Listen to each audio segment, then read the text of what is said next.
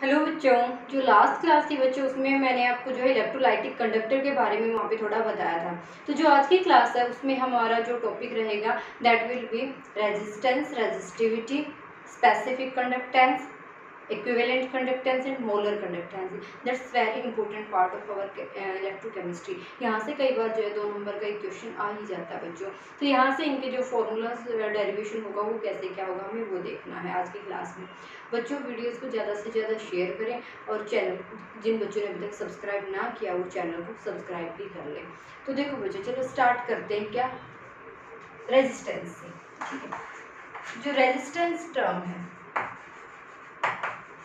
Resistance basically जो है resistance होता क्या है? जो आप टेंथ क्लास में भी पढ़कर आए होंगे फिजिक्स में हम इसका ज़्यादा यूज़ करते हैं, जो इलेक्ट्रिक सेल आप पढ़ते हैं वहाँ पे, तब वहाँ पे जो आप इसको अप्लाई करते हैं बट केमिस्ट्री में जो इलेक्ट्रोकेमिस्ट्री पार्ट है, यहाँ पे भी आप सेल को ही जो है एक्सप्लेन करें तो यहाँ पे भी आपको रेजिस्टेंस और रेजिस्टिविटी इन टर्म्स का जानना ज़रूरी है। तो हम एक्सप्लेन कर लेते हैं रेजिस्टेंस तो देखिए when two end two ends of conductor two ends of conductor applied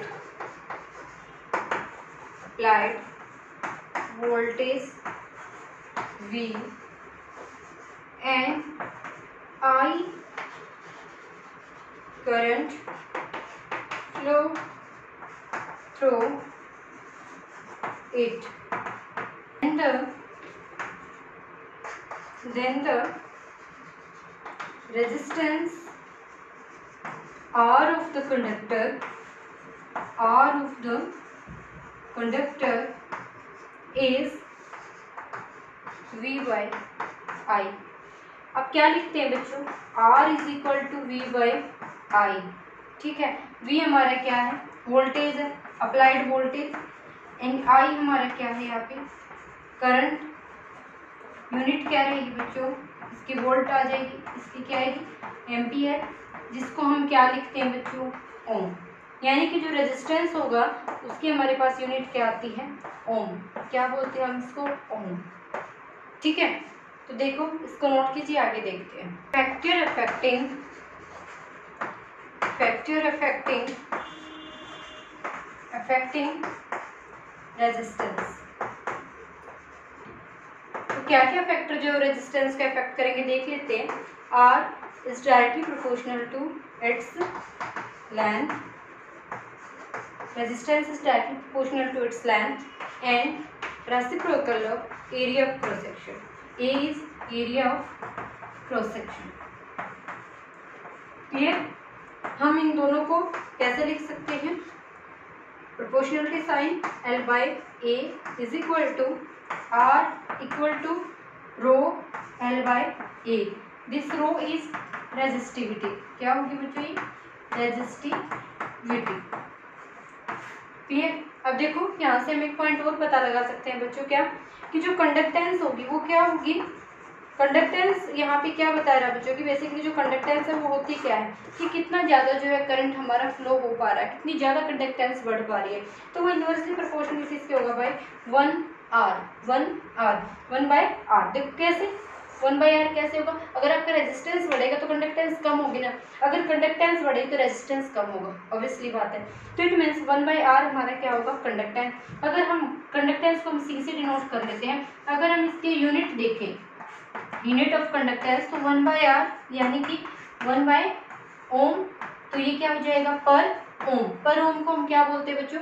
जो मैंने ये ये सिंबल लिखा है, पर ओम जो है, इसको हम बोलते हैं सीमेन भी बोल सकते हैं। तो यानी कि जो कंडक्टेंस होगी, उसकी यूनिट आप पर ओम भी लिख सकते हैं और सीमेन भी हम यूज़ कर सकते हैं। समझ आया बच्चों? देखो जो फैक्टर हमने पहले क्या टर्म यूज़ की? रेजिस्टेंस रेजिस्टेंस क्या होगा? जितने वोल्टेज आप जो भी अप्लाई कर रहे हैं, उससे जितना करंट फ्लो हो रहा है उसके लिए जो रेजिस्टेंस रहेगा वो आर रहेगा। ठीक है? तो आर जो रेजिस्टेंस रहेगा, उसको फैक्टर कौन कौन से अफेक्ट करते हैं? First one its length that is denoted by small L and area of cross section that is denoted by small A तो आर जो होगा, वो क्या होगा? एल बाई ए जो प्रोपोर्शनलिटी साइन है, उसको हमने हटाने के लिए क्या यूज़ किया? Rho that is resistivity clear है?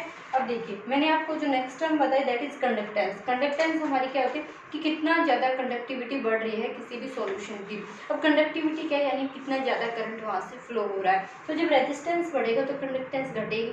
अगर कंडक्टेंस बढ़ेगी तो रेजिस्टेंस घटेगा। इट्स ऑब्वियसली ये जो पॉइंट रहेगा, इसके भी यहाँ पे हम इसकी यूनिट जो है वो एक्सप्लेन कर लेते हैं। रेजिस्टेंस की यूनिट क्या होती है? ओम होती है। तो वन बाय आर जब आप करेंगे तो वन बाय ओम आएगा। ओम को जब आप ऊपर ले जाएँगे तो ओम यूनिवर्स हो जाएगा। ओम यूनिवर्स को हम क्या बोल देते हैं बच्चों? सीमैन भी बोलते हैं, ठीक है? तो देखते हैं। तो देखो बच्चों, आपने लिखा R is equal to resistivity rho L by A rho हमारे पास क्या रहेगी? रेजिस्टिविटी रेजिस्टिविटी रेजिस्टिविटी क्या बताएगी बच्चों? Nature of material nature of material ठीक है? तो देखिए, जो नेचर ऑफ़ मटेरियल यानी कि हम इसको ऐसे भी तो लिख सकते हैं one by rho is equal to one by R into L by A लिख सकते हैं इस फॉर्मूला को रीअरेंज करके। तो जो वन बाई आर होगा, वो क्या होगा बच्चों? One by rho is equal to conductance into L by A हो सकता है। अगर आप यहाँ से जो आप क्या करें रेजिस्टिविटी की अगर यूनिट हम कैलकुलेट करना चाहें, ये मैंने आपको बताया कंडक्टेंस के टर्म में। ठीक है बच्चों, कि हम जो है कंडक्टेंस और रेजिस्टिविटी का क्या रिलेशन यहाँ से बना सकते हैं, वो देख सकते हैं आप यहाँ से। तो अब देखिए, अब जो रेजिस्टिविटी है unit of resistivity unit of resistivity कैसे देखेंगे? अब क्या कीजिए? Rho is equal to R into A by L हो जाएगी। ए बाई एल होगा। अगर आप इनको इन्वर्स में ना ले जाना चाहें रो को और आर को तो आपका जो है ए बाई एल जो है वो आपका एल बाई जो ए था वो इन्वर्स होकर ए बाई एल में कन्वर्ट हो जाएगा। तो जो यूनिट रहेगी वो क्या हुई? ओम इंटू एरिया की क्या होती है? सेंटीमीटर स्केयर अपोन में सेंटीमीटर यानी कि कितनी हो जाएगी? रो सेंटीमीटर क्लियर है बच्चों? कि ये हमारी किसकी यूनिट रहेगी? रेजिस्टिविटी की। Next is specific specific conductance conductance first point तो ये माइंड में रखिए बच्चों ये जो प्रॉपर्टी है specific conductance that is intrinsic property आपने जो है, वहाँ पढ़ा होगा थर्मोडाइनमिक्स में इलेवंथ क्लास में इंट्रेंसिक और एक्सटेंसिक प्रॉपर्टी दो प्रॉपर्टी आपने वहाँ पे पढ़ी थी तो ये जो प्रॉपर्टी रहेगी स्पेसिफिक कंडक्टेंस वो हमारी क्या रहेगी? इंटेंसिक प्रॉपर्टी रहेगी. ये क्या होगा? Reciprocal of reciprocal of resistance resistance it is denoted by it is denoted by kappa kappa symbol will be like this okay बच्चों? तो देखिए, हम क्या लिख रहे थे? One by rho is equal to one by R into L by A. हमने ये लिखा था, वन बाई आर तो हमारा कंडक्टेंस रहेगा, वन बाई रो देखिए वन बाई रो जो रहेगा that is kappa that is specific conductivity is equal to C into L by A clear है बच्चों? यानी कि ये क्या हुआ? कंडक्टेंस हुआ। या आप इसको एज इट इज़ भी लिख सकते हैं। Kappa is equal to one by R into L by A ये भी हम इसको लिख सकते हैं। क्लियर हुआ? तो देखिए unit of kappa unit of specific conductance और kappa unit of kappa will be equal to क्या होगा बच्चों? One by ohm into centimetre upon centimetre square एक से कैंसिल होगा। पर ओम पर सेंटीमीटर ये यूनिट रहेगी हमारी किसकी? स्पेसिफिक कंडक्टेंस की। क्लियर है बच्चों? इसको नोट कीजिए, आगे देखते हैं। How can you define specific conductance you can write here conductance conductance due to electrolyte electrolyte any concentration any concentration ठीक है? Due to electrolyte any concentration present in one centimetre cube volume यानी कि जैसे देखिए, आपने जो है, ये एरिया लिया ये स्पेस आपने जो लिया है टू इलेक्ट्रोड्स जो है आपने लिया है वन ये जो है, ये दो आप इलेक्ट्रोड ले सकते हैं इधर और इधर। ये दो आप प्लेट ले लीजिए इलेक्ट्रोड ले लीजिए। फॉर एग्ज़ाम्पल ये भी वन सेंटीमीटर है। ये भी वन सेंटीमीटर और ये भी one centimetre one centimetre cube के अंदर फिक्स कर दिया बच्चों यहाँ पे।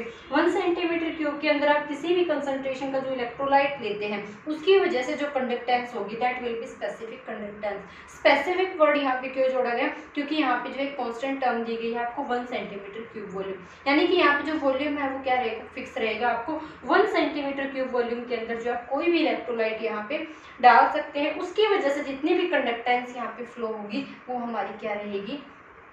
स्पेसिफिक कंडक्टेंस यानी कि ये दो आप, दो इलेक्ट्रोड आप यहाँ पे ज़रूर लेंगे बच्चों, अभी आगे आपको पता लगेगा। बिना वोल्टेज अप्लाई किए सॉल्यूशन डिसोशिएट नहीं होगा और वहाँ से जो है आपका इलेक्ट्रिक करंट फ्लो नहीं कर पाएगा। ठीक है, यहाँ पे वन सेंटीमीटर क्यूब अपार्टमेंट में आपको सोल्यूशन डालना है, जितना भी आए वो चाहे किसी भी कंसंट्रेशन का हो तो उससे, उस टाइम पे जितनी भी कंडक्टेंस वहाँ से रिलीज़ होगी that will be specific conductance अब अगर हम क्या करें increase if if we increase, if we increase dilution. Dilution यानी कि आपने जो भी यहाँ पे इलेक्ट्रोलाइट यूज़ किया है, उसके अंदर आप जो डाइल्यूट कर दे उसको। यानी कि उसके अंदर जो है आप और वाटर की क्वांटिटी ऐड कर देते हैं। ठीक है, आप ये मान के चलिए। तो जब आप इसका डाइल्यूशन बढ़ाएँगे तो जो कंडक्टेंस होगी, वो क्या रहेगी बच्चों?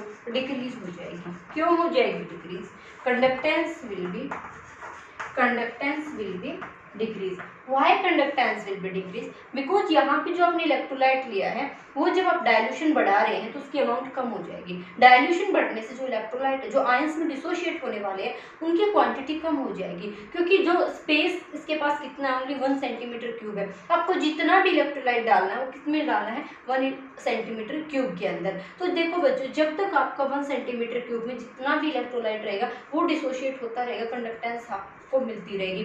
बट यहाँ पे अगर आपने इलेक्ट्रोलाइट की क्वांटिटी कम कर दी, यानी कि आयंस में जो डिसोशिएट हो रहे थे उन्हीं की अगर आपने क्वांटिटी कम कर दी और डाइल्यूशन को बढ़ा दिया तो जो पार्टिकल्स की अमाउंट ज़्यादा थी वहाँ पे, जो उस उनकी कंसनट्रेशन हाई कंसनट्रेशन थी, वो क्या होती जाएगी? लो कंसनट्रेशन हो जाएगी, यानी कि उसकी जो इलेक्ट्रोलाइट था हमारा, उसकी कंसनट्रेशन क्या होती जाएगी? कम होती जाएगी। आयंस कम होते जाएँगे। आयंस कम होंगे तो कंडक्टेंस क्या हो जाएगी? डिक्रीज हो जाएगी। समझ आया? इसको हम किससे डिनोट करेंगे बच्चों? कप्पा से डिनोट करेंगे। अंडरस्टैंड तो हम अगर इसकी, अब देखो एक बार यूनिट और देख लेते हैं। कप्पा की यूनिट अभी मैंने आपको लास्ट में बताई थी क्या हो जाएगा? One by R into L by A अब यहाँ से इसकी यूनिट कैलकुलेट की थी आपने, क्या हो गई? पर ओम और क्या होगी पर सेंटीमीटर यूनिट आपको ध्यान रखनी है बच्चों कि जो स्पेसिफिक कंडक्टिविटी होगी, उसकी यूनिट क्या रहेगी। अब देख लेते हैं equivalent conductivity next one is equivalent conductor equivalent conductance देखो बच्चों, जो इक्विवेलेंट कंडक्टेंस रहेगा, उसको हम लैम्डा इक्वी इससे डिनोट करेंगे। इसका सिंबल हमारे पास ये रहेगा लैम्डा इक्विवेलेंट ठीक है? तो इसको हम डिफाइन कैसे करेंगे? Conductance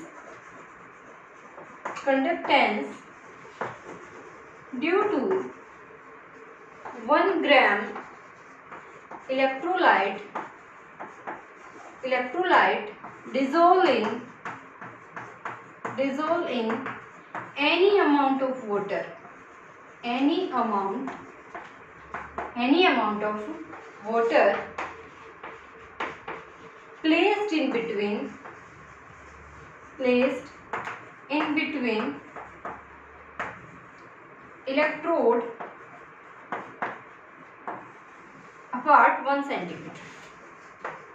Apart 1 centimeter यानी कि आपको क्या करना बच्चों अकॉर्डिंग टू दिस डेफिनेशन आपको टू इलेक्ट्रोड्स ले लेने हैं बच्चों। ये आपने इस टाइप से टू इलेक्ट्रोड्स लिए हैं, ठीक है? इनके बीच का जो डिस्टेंस रहेगा, वो वन सेंटीमीटर डिस्टेंस होना चाहिए। वन सेंटीमीटर डिस्टेंस होना चाहिए, ठीक है? आप कितनी भी अमाउंट जो है वाटर की ले सकते हैं, जो आपको इन दोनों इलेक्ट्रोड्स के बीच में रखनी होगी, ठीक है? एक इलेक्ट्रोड आपका ये है, एक इलेक्ट्रोड आपका ये है, जो आप प्लेट भी बोल देते हैं बच्चों इनको। यहाँ पे आपको अपना सॉल्यूशन रखना होगा, जो आप इलेक्ट्रोलाइट वन ग्राम ले रहे हैं तो देखिए, इनके बीच का जो डिस्टेंस होगा वो वन सेंटीमीटर का रहेगा दोनों इलेक्ट्रोड्स के बीच में। यहाँ पे आप वन ग्राम इलेक्ट्रोलाइट किसी भी अमाउंट ऑफ़ वाटर के अंदर डिजोल्व कर सकते हैं। और देखिए, यहाँ पे कंडीशन नहीं है कि आपको वन सेंटीमीटर क्यूब वॉल्यूम ही लेना, नहीं। यहाँ पे कोई कंडीशन नहीं है। आप कितना भी वॉल्यूम जो वाटर का यूज़ कर सकते हैं हम यहाँ पे, जिसके अंदर हम अपने क्या कर सकते हैं आइंस को डिजोल्व कर सकते हैं। यानी कि जो हमने इलेक्ट्रोलाइट लेना है वन ग्राम वो हम वन सेंटीमीटर अपार्टमेंट के अंदर जब रखेंगे तो कितनी भी क्वांटिटी हम वाटर की उसके लिए यूज़ कर सकते हैं सोल्यूशन बनाने के लिए। अब देखो, अगर हम यहाँ पे डायल्यूशन इंक्रीज कर देते हैं बच्चों, किसमें? इक्विवेलेंट कंडक्टेंस में। डायल्यूशन अगर हम इंक्रीज करते हैं तो क्या होगा बच्चों? यहाँ पे हमारे पास जो है क्वांटिटी फिक्स नहीं है। ऐसा नहीं है कि अगर आप यहाँ पे डायल्यूशन बढ़ाते जाएँगे तो जो वो वन ग्राम आपने इलेक्ट्रोलाइट लिया है, वो कम होता जाएगा। नहीं, वो उसी के अंदर रहेगा। वहाँ पे कंडीशन थी वन सेंटीमीटर क्यूब वॉल्यूम की। तो अगर वन सेंटीमीटर क्यूब वॉल्यूम के अंदर हमें डायल्यूशन बढ़ाना था तो यानी कि कुछ इलेक्ट्रोलाइट वहाँ से बाहर निकलने वाला था, ये अंडरस्टूड है। क्योंकि जो पहले से ही वन सेंटीमीटर क्यूब अपार्टमेंट जो वो फिल था, अब आप उसमें और वाटर की क्वांटिटी ऐड करें तो यानी कि जो इलेक्ट्रोलाइट है, वो उसके पार्टिकल जाएँगे स्पेस तो लेगा वोटर भी। तो ऐसा यहाँ पे कंडीशन नहीं है कि आपको वन सेंटीमीटर क्यूब वॉल्यूम लेना है, बिल्कुल भी नहीं। आप वॉल्यूम यहाँ पे वाटर की कितनी भी अमाउंट ले सकते हैं। कितनी भी अमाउंट में आपको वन ग्राम इलेक्ट्रोलाइट डिजोल्व करना है बच्चों। सिर्फ़ कंडीशन क्या है कि दोनों इलेक्ट्रोड्स के बीच में वन सेंटीमीटर जो है डिस्टेंस होना चाहिए, ठीक है? तो अब देखो, जब आप यहाँ पे डाइल्यूशन बढ़ाएँगे तो जो इलेक्ट्रोलाइट है वो उसके आयन दूर दूर जाएँगे ना। अगर आयन रेंडमली डिस्ट्रीब्यूट हो रहे हैं तो क्या होगा? उनका मोशन फास्ट होगा। क्यों? क्योंकि जो सोल्वेशन इफ़ेक्ट है, जो सोल्यूट सोल्यूट और सोलवेंट सोलवेंट इंट्रैक्शन है ड्यू टू डायल्यूशन वो क्या हो जाएगा? डिक्रीज हो जाएगा। अब डायल्यूशन के डिक्रीज होने से बच्चों क्या होगा? कंडक्टेंस डायल्यूशन होने से क्या होगा? सोल्वेशन का जो प्रोसेस है वो डिक्रीज हुआ, यानी कि जो इंट्रैक्शन है वो क्या हुई डिक्रीज हुए। अब इंट्रैक्शन अगर डिक्रीज होंगे तो कंडक्टेंस क्या करेगी? बढ़ेगी। तो इस केस में जब आप डायल्यूशन इंक्रीज करते हैं तो कंडक्टेंस क्या होगी? Increase conductance will be increase क्यों होगी? आई थिंक आपको क्लियर हुआ होगा। आई रिपीट अगेन जो आपका स्पेसिफिक कंडक्टेंस है जो आपने one centimetre cube volume fix किया था, उसी के अंदर जो आपको अपनी क्वांटिटी फिल करनी थी। अब अगर आप वहाँ से इलेक्ट्रोलाइट को कम कर रहे हैं तो आयंस तो ऑटोमेटिकली कम हो गए कंडक्टेंस तो बढ़ेगी यहाँ पे आपकी कंडीशन नहीं है कि आपको वन सेंटीमीटर क्यूब वॉल्यूम ही लेना है। यहाँ पे आपकी सिर्फ़ एक कंडीशन रहेगी कि वन सेंटीमीटर अपार्ट पे आपको दो इलेक्ट्रोड रखने हैं। अमाउंट ऑफ़ जो वाटर वो कितनी भी ले सकते हो, उसके अंदर सिर्फ़ वन ग्राम कंडीशन ये है कि वन ग्राम इलेक्ट्रोलाइट आपको डिजोल्व करना है। अब जब डाइल्यूशन बढ़ाएँगे तो जो वन ग्राम इलेक्ट्रोलाइट है, उसके बीच के जो इंट्रैक्शन है, वो क्या होंगे? कम होंगे। जब इंट्रैक्शन कम होंगे तो यानी कि वो फास्टली जो इलेक्ट्रोड की तरफ़ मूव करेंगे कैटाइन जो है नेगेटिव इलेक्ट्रोड की तरफ़ और एनाइन जो है पॉजिटिव इलेक्ट्रोड की तरफ़ ऐसे मूव करेंगे, जिससे हमारी कंडक्टेंस क्या होगी? बढ़ेगी। तो चलो देखते हैं। अगर हम इक्विवेलेंट कंडक्टेंस को फॉर्मूले में अप्लाई करते हैं तो ये होगा specific conductance specific conductance multiplied by volume. देखिए, अब पॉइंट यहाँ पे ये आया कि जो हमने specific conductance multiplied by volume क्यों किया? देखो बच्चों, एक तो पॉइंट आप ये समझ लीजिए, जब आप डाइल्यूशन बढ़ाते जा रहे हैं तो क्या होगा? एक पॉइंट ऐसा आएगा, जब आपकी कंडक्टेंस जो होगी ना कंडक्टेंस जो आप जहाँ से भी आप नोट कर रहे हैं, वो क्या हो जाएगी? कॉन्स्टेंट हो जाएगी। ये कंडक्टेंस जो है, एक स्टेज पर जाकर कांस्टेंट क्यों है? हमें ये भी पॉइंट ध्यान रखना है। तो एक स्टेज पर जाकर कंडक्टेंस जो है कांस्टेंट क्यों हो रही है? क्योंकि जितने भी आयंस थे, वो टोटली जो है डिसोशिएट हो चुके आयन डिसोशिएशन जो है, वो चुका जितने भी आयंस थे, वो हमारे डिसोशिएट हो चुके जितना भी आपका इलेक्ट्रोलाइट था, वो आयंस में डिसोशिएट हो चुका। यानी कि अब और इलेक्ट्रोलाइट जो है, आपका आयंस में डिसोशिएट नहीं हो रहा, जिसकी वजह से कंडक्टेंस जो है, हमारी क्या हो गई, बच्चों? कॉन्स्टेंट हो गई। आई थिंक क्लियर हुआ होगा। ठीक है? जब आप डायल्यूशन बढ़ा रहे हैं उस टाइम पे। तो देखो, जब आप जो आपकी इक्विवेलेंट कंडक्टेंस है, उसको जब आप लिखते हैं तो स्पेसिफिक कंडक्टेंस इनटू वॉल्यूम लिखते हैं। अब यहाँ पे स्पेसिफिक कंडक्टेंस का फॉर्मूला क्या है? कप्पा है इनटू में वी अब देखो बच्चों, ये वॉल्यूम जो है, ये वॉल्यूम अगर आप वन करते जैसे आपने वॉल्यूम जो लिया वो कितना लिया? वन सेंटीमीटर क्यूब लिया। तो अगर आपने वन सेंटीमीटर क्यूब ही वॉल्यूम ले लिया तो कौन सी कंडीशन बन गई? स्पेसिफिक कंडक्टेंस की स्पेसिफिक कंडक्टिविटी जो अभी हमने पढ़ी है, उसकी कंडीशन बन है तो उस टाइम पे तो जो इक्विवेलेंट कंडक्टिविटी होगी और स्पेसिफिक कंडक्टिविटी होगी, वो दोनों क्या हो जाएँगी? इक्वल हो जाएँगे। बट देखो क्वेश्चन क्या है कि हमने जो है इक्विवेलेंट कंडक्शन के लिए कोई भी कंडीशन नहीं रखी है वॉल्यूम की। तो यहाँ पे आपका वन सेंटीमीटर क्यूब ना होने की बजाय टू भी हो सकता है थ्री भी हो सकता है फोर भी हो सकता है। यानी कि ये जो आपका वॉल्यूम है, ये चेंज हो सकता है यहाँ पे, क्योंकि हमने कोई कंडीशन ही नहीं रखी। किसके लिए? इक्विवेलेंट कंडक्टेंस के लिए। तो उसके लिए आपको जो स्पेसिफिक कंडक्टेंस है, उसको वॉल्यूम से मल्टीप्लाई करना पड़ेगा। ठीक है? जिससे आपका इक्विवेलेंट कंडक्टेंस आएगा। समझ में आया बच्चों? अब देखो, हम इसमें इक्विवेलेंट कंडक्टेंस में ग्राम इक्विवेलेंट की बात कर रहे हैं बच्चों। आपने अभी क्या बोला था? वन ग्राम वन ग्राम आप वाटर के अंदर डिजोल्व करें। तो ग्राम का जो रिलेशन है, वो किसके साथ है? नॉर्मेलिटी के साथ। हम यहाँ से देखें ना वॉल्यूम को मॉडिफाई करेंगे। नॉर्मेलिटी क्या होती है? Gram equivalent gram equivalent solute होती है डिवाइडेड बाय वॉल्यूम इनटू में थाउज़ेंड कुछ ऐसा जो है फॉर्मूला होता है आपका किसका नॉर्मेलिटी का। हम वॉल्यूम को इधर लेकर आएँगे। तो देखो हमें तो वॉल्यूम की वैल्यू चाहिए। वॉल्यूम इज़ इक्वल टू क्या होगा? Gram equivalent gram equivalent by. यहाँ पे क्या आ जाएगी? नॉर्मेलिटी क्या आएगी बच्चों? नॉर्मेलिटी आएगी इनटू में थाउज़ेंड अब अगर आप ग्राम ही वन ले रहे हैं, हमने क्या किया? Gram is equal to one लिया बच्चों। तो इस केस में क्या रहेगा? Gram is equal to one में। यहाँ पे वन बाय नॉर्मेलिटी इंटू में क्या आएगा? नॉर्मेलिटी इंटू थाउज़ेंड यानी कि जो फॉर्मूला बनेगा, वो क्या बनेगा? Volume is equal to thousand upon normality understand ये रिलेशन बन गया तो हम इस रिलेशन को कहाँ पुट कर सकते हैं अपने इस फॉर्मूला में? यानी कि जो लैम्डा इक्विवेलेंट होगा, वो किसके इक्वल हो जाएगा? कप्पा इंटू थाउज़ेंड अपॉन में नॉर्मेलिटी फाइनली हमारा ये फॉर्मूला रहेगा किसका? इक्विवेलेंट कंडक्टेंस क्लियर है बच्चों? तो देखो, ये आपको ध्यान रहना चाहिए, ये वाला formula equivalent conductance is equal to specific conductance multiplied by thousand upon normality ये फॉर्मूला कहाँ से आने सिर्फ़ वॉल्यूम जो है, वो कैलकुलेट करके वहाँ पे वैल्यू पुट की है। ठीक है? जिसको नोट कीजिए। आगे मोलर कंडक्टेंस हम देख लेते हैं। Next topic is molar conductance molar conductance तो देखो बच्चों, जो मोलर कंडक्टेंस होगा मोलर, वहाँ पे इक्विवेलेंट इक्विवेलेंट से क्या निकला था? ग्राम इक्विवेलेंट मोलर यहाँ से निकलेगा मोल वर्ड ठीक है? तो हम इसको क्या लिख सकते हैं? Conductance conductance due to due to one mole of one mole of electrolyte electrolyte dissolve in electrolyte dissolve in conductance due to one mole of electrolyte dissolve in any amount of any amount of water any amount of water placed in between placed in between in between two electrode two electrode apart one same है बच्चों, वहाँ पे आपने one gram लिया था, यहाँ पे one mole आएगा, ठीक है? तो देखो if we increase dilution if we increase dilution तो सेम थिंग रहेगी। हमने यहाँ पे वॉल्यूम की कोई कंडीशन रखी नहीं, सिर्फ़ आपको इलेक्ट्रोड के बीच में कितना स्पेस रखना है वन सेंटीमीटर अपार्ट तो जो मोल अगर आप यहाँ पे डायल्यूशन बढ़ाएँगे तो जो मोल्स का डिसोसिएशन है, वो ज़्यादा होगा। क्यों? क्योंकि डायल्यूशन बढ़ गया। जो अंदर के इंटरमोलिकुलर फोर्सेस थे, वो क्या हो गए? डिक्रीज हो गए।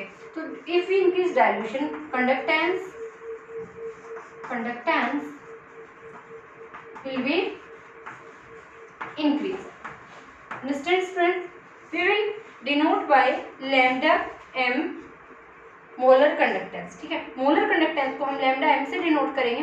इसका जो फॉर्मूला रहेगा, वो क्या होगा? कप्पा इंटू क्या होगा बच्चों यहाँ पे? वॉल्यूम वहीं आए ठीक है, वहीं आएगा। बट यहाँ पे जो है अब देखना वॉल्यूम को जब एक्सप्लेन करेंगे, वो थोड़ा चेंज होगा।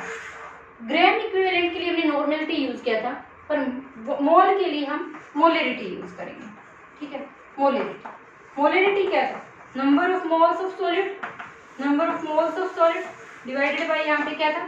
Volume of solution into thousand ये फॉर्मूला था। हम वॉल्यूम को इधर लेके आएँगे।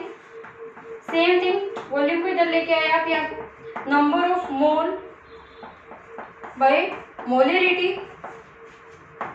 into thousand जब आपने नंबर ऑफ़ मोल्स को वन किया तो थाउज़ेंड अपॉन मोलरिटी रह जाएगा यहाँ से। नंबर ऑफ़ मोल्स अगर आप वन कर देते थाउज़ेंड अपॉन मोलरिटी रहेगा यहाँ पुट कर देते हैं। तो lambda M molar conductivity is equal to kappa into thousand upon molarity ये रहेगा क्लियर है बच्चों?